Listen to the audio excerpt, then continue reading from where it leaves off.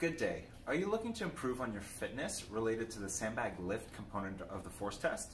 Well then, this video is for you. My name is Gabriel Quenville and I am the reconditioning specialist for the Canadian Armed Forces out here at Base 4 in Cold Lake. And I'm a clinical exercise physiologist certified through the Canadian Society of Exercise Physiology. If you haven't seen my video on the technique component of the sandbag lifts, go ahead and check that out. It is linked in the description below. That is going to be our best way to actually train for the sandbag lift component of the force test.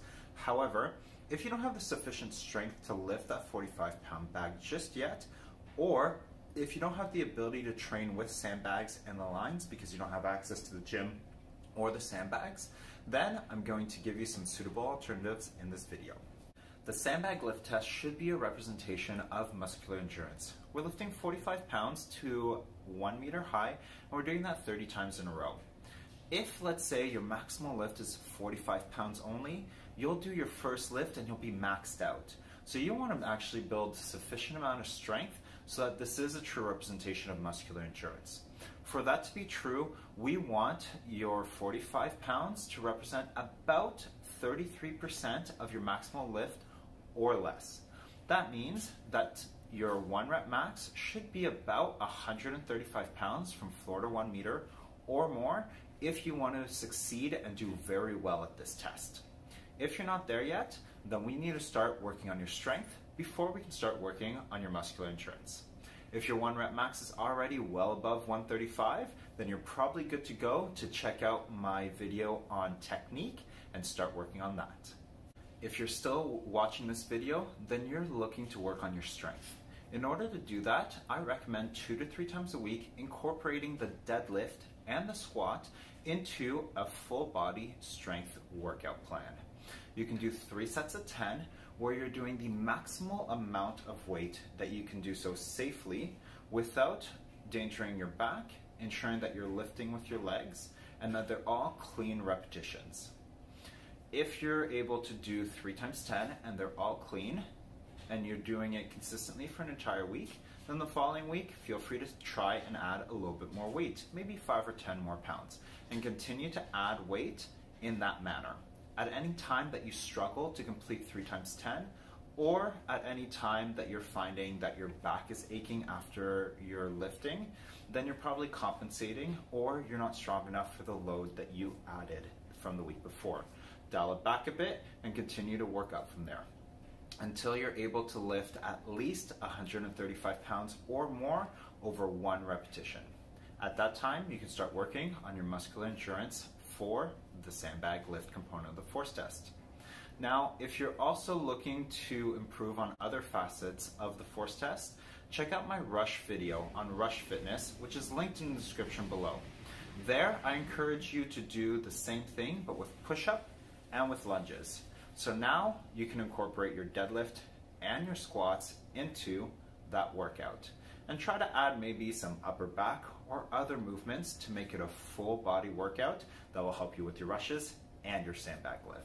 If you're ready to start training endurance, but you don't have access to sandbags or the lines on the wall because of where you live or the hours of the gym and your work demands, well, here's a suitable alternative.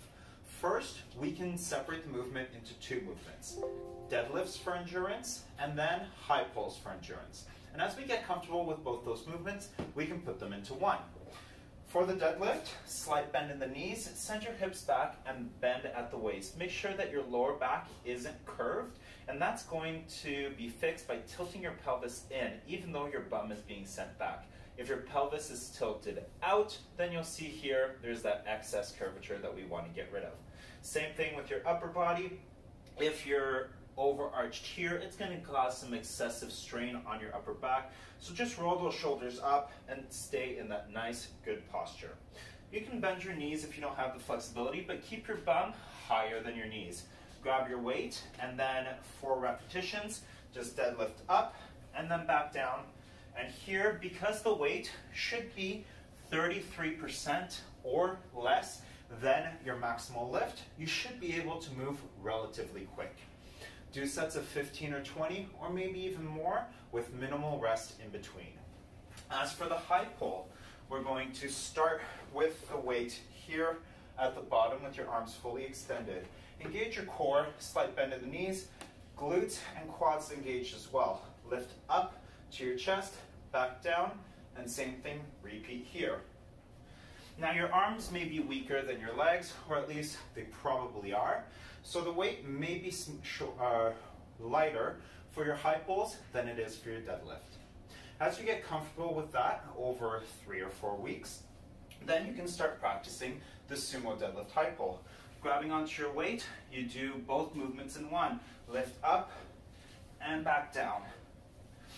Because you have a little bit more momentum here from the deadlift, the weight should be almost negligible as you pull it up with your arms.